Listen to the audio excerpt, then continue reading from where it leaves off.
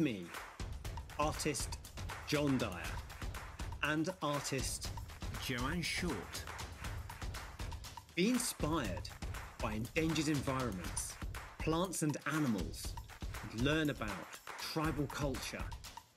Paint, connect, exhibit, and change. It's a last chance to paint. The predator proof boma we are at today is a predator proof boma is a homestead that has been uh, fenced and fortified using a chain link fence. So all, all we've added in is the chain link fence. The thorny acacia is what the Maasai used to traditionally use to pre- prevent predators from coming in. That keeps the people safe and it keeps the wildlife out, which uh, uh, encourages coexistence between people and wildlife. So these girls have just been out and collected water, and that's how they bring it back to the boma. I would like firstly to take you inside of the village uh, to have a Maasai dance, both men and women. Then after there, uh, we go around to the village and I show you what is inside the village because as right now, as you see, we are outside of the village, but uh, as you see, it is very small. But when you get in, will be uh, bigger than the way you are expecting.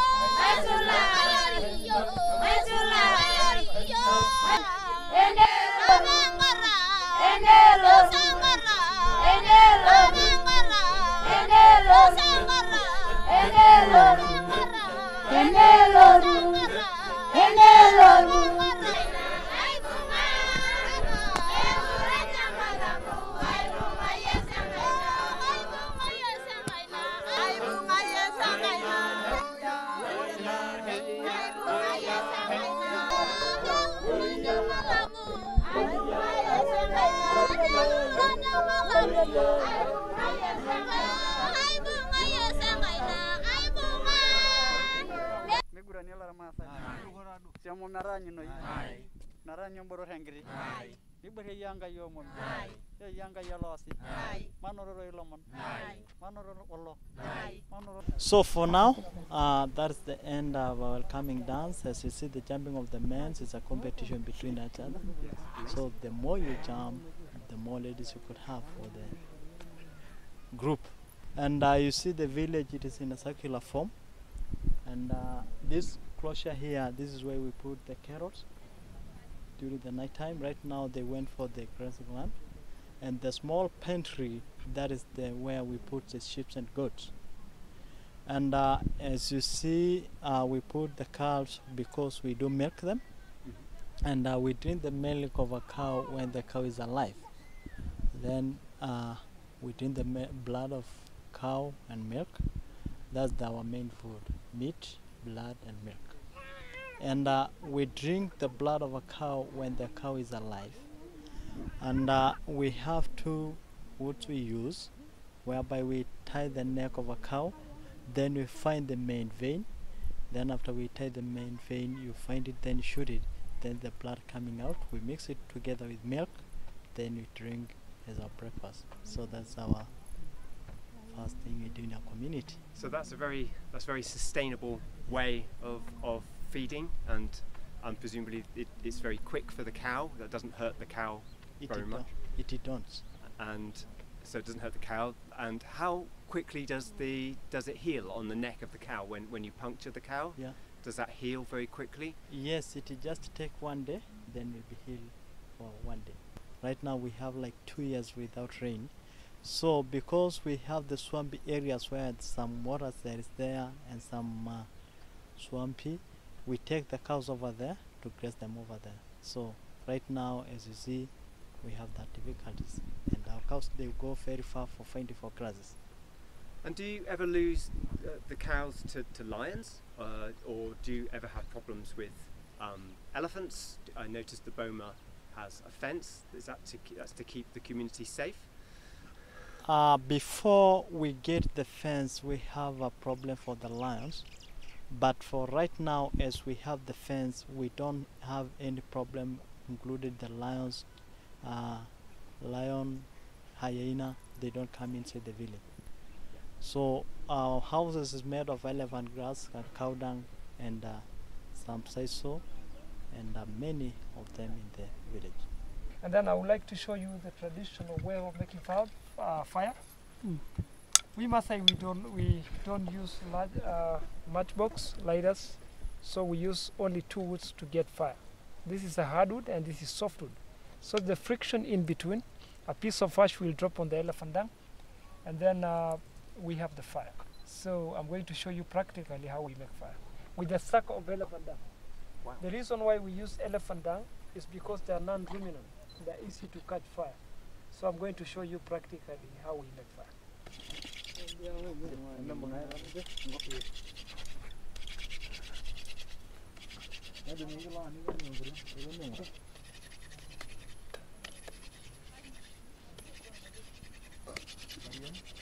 So we see some smoke coming. Where there is smoke, there is fire. Yes.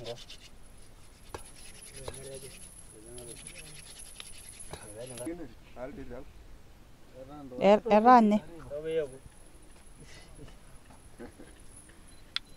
So you can wait for the flame. Yeah. Erabua.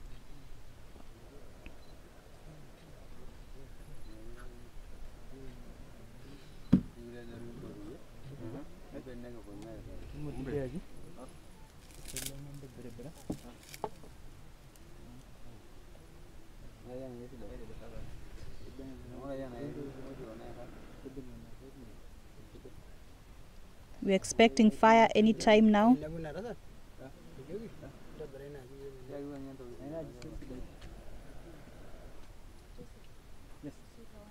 Now we have fire. And evening, we make a very big fire outside of the village. Then the women come with a piece of wood and burn and transfer to their houses. So one fire is enough for the whole village. Make sure you're pushing it. Okay. Push it. Oh, push it down. You push it down Yeah, to yeah. create friction. Enter. Okay, good, good, Oh good, my goodness. good, good. Just continue. Yes, continue. down, And down. come up, down, up, And up. And down. down, up, down, Mm. down, Oh, they make it little look so easy, guys. Yeah. down, up, Oh, No, no, just go there. I told you. I'm useless. No, you're not. I'm doing that. I didn't do that bit. Yeah, enter. Enter. There, Mary, then. Mm. Good, good, good, good, good. I won't have bruised hands. No, you're already. It's ready, it's ready. Fire is ready. All on my own. Did you see how I did that? All on my own. no help at all. I made fire. I did a thing. I made Yeah, fire. yes, I did a thing. yeah. Um, don't do this at home in the playground. Bad idea. No, no, no. Only with experts from the Maasai tribe. Don't try this one. Do not try this one at home. Look, I did a thing. Yeah, You helped. you made fire. You helped do it. I hindered doing a thing. Ow, that's really hot. And you are being led by our chairman, the chairman of the Boma, the big mega Boma. So he's the one who's going to lead us to see the traditional Maasai house. So the burning of the cheese, uh, this one was uh, discovered by our grand grandfathers, and uh, why we burn our cheese uh, to prevent the ice illness. Uh, because you don't see any Maasai wearing uh, the goggles because of having a problems of eyes. And some people they just pretend they are the Maasai and they are not the real Maasai. So for you to being a Maasai in the community, you sh- should be have to be ban the cheese. And uh, that was our history about the banning of the cheese. Another thing we do in our community, you see some people have their long ears, they have been pierced. Like the gentleman right here. He has been uh, pierced the ears. We was having a conflict between Tanzania and Kenya. For us to differentiate the people of Kenya and Tanzania, we was having the people who known as the Mangat from the Tanzania. So for us to differentiate our people, you should have to pierce their ears. But this one have been coming and stop it because uh, most of our people went to school, and the rules and regulation of the school they were not allowing the people to pierce their ears. And how old would you be when you have the, the marks on your cheeks? What sort of age? When you are two years old, that's the time you burn the cheese. Just to explain the uh, interesting head adornment, this is so that we can see because it's very, very dark inside the, the house. So we've got the torches to help us see what we're doing. As you see over here, down for us, these are mattress. These are cow skin. Yeah, this is cow dung.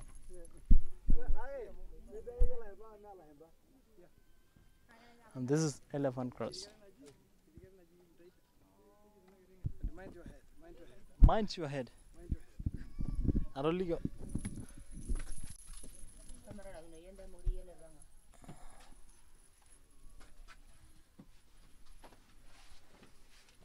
come in? Now you can stand up. Stand up. Yeah. I turn this off. Yeah. Off. No, come, come. John, we are here. Okay, so you can switch off your light to see how it look like. And our houses is a waterproof, so no rain coming inside. So that would be an energy saving stove, uh, an earth and energy saving stove, wood stove. So what they will do, they will mold it into the ground and then it would use more firewood than the open. You can see this one, it will be open firewood, so it would use more firewood. But when they would use that one, they would use maybe two, just maybe two of this or even just one of this, then it would save firewood. Uh, they are yet to do it, they will do it once there is rain and they can have some mud. They will just mold it into the earth and make an energy saving wood stove. Yeah. That's fantastic. That's really interesting, and how Bomb Free are helping the community. Yeah, yeah. But also that shows you if we gave them this this year, last year it hasn't rained, they haven't been able to mold it in. Uh, it's all just showing how much the their livelihoods are changing and how much the environment is changing. You know, because just the li- little lack of rain, Yeah. they can't mold that. Yeah. Yeah. So and it's and as you can see they, they need the firewood here but there's not even much to cook so all all these are the effects of the drought that's currently ongoing yeah, yeah yeah. Do you have a way of lighting the room, or you? It's just always dark like this. It is always dark. We do use uh, the fire to light the house.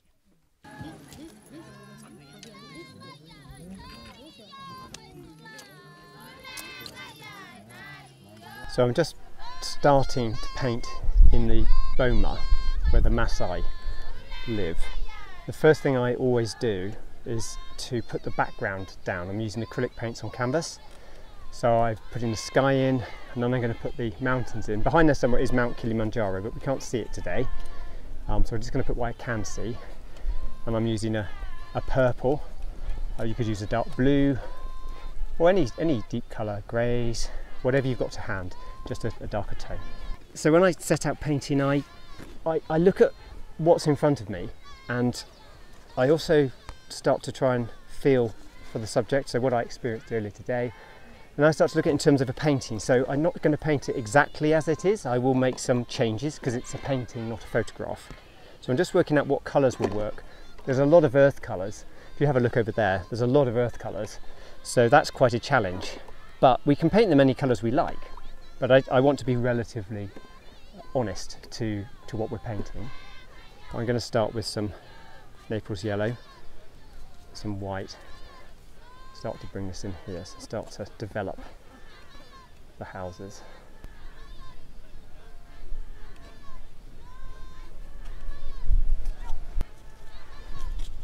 So I'm using acrylic paint as I said and this dries really fast out in the, the heat.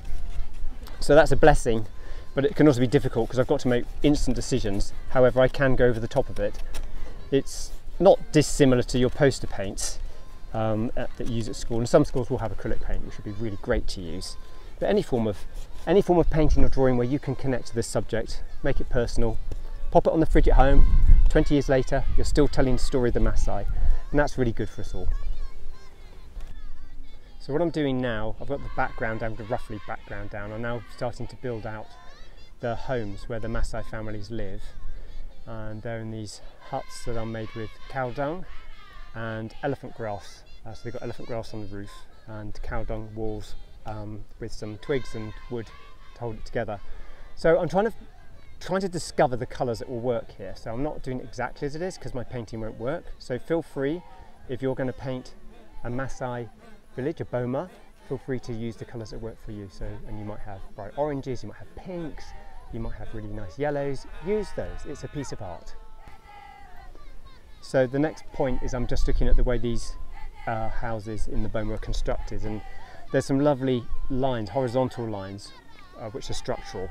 So I'm just putting in the shapes that I'm seeing in the Bomas, the, the cracked earth of the um, uh, of this side and the shadows. But I'm not painting it brown and just pale, I'm making it a painting, I'm making it colourful, and I'd like you to make it colourful too. One of the Maasai uh, tribe have just come up to see me and he's agreed that I can paint him, or try to paint him. So I'm just starting with some basic red shapes and I'll go in with, the, with, with, with that. So as you'll, you'll notice he's moving, which is normal, so I'm just going to make it up. But he did have his hand, uh, even I've got the wrong colour paint. Do you just hold on to the post again? No, no, no, no, stay there. Stay there. That's it, that's it. Great. I'm just going to, I've got the wrong colour paint, but I'm going to use it to draw out where, roughly where the arm is on this. And then I'll go back and go over the top because it obviously doesn't want to stand in the sun for too long. So I'm just going to sketch this out. Now I'm wearing sunglasses to protect my eyes. Um, that makes everything a bit darker, but when I go back in it will, should all look good, should pop. So I'm just going to put this in. Now I need to get the angle of this chap's head.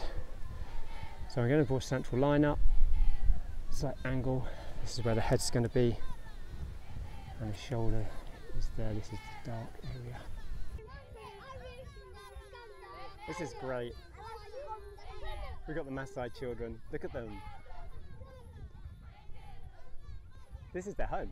So where I'm painting and what you're painting in your schools all around the world, you're, you're painting their home. So this matters, the, the climate, the environment, pollution, things we do help to keep these guys safe and well. And yeah, that's what matters. And because they have these beautiful robes, I just need to roughly, not, it's not supposed to be completely accurate, it's just to capture the essence of the subject.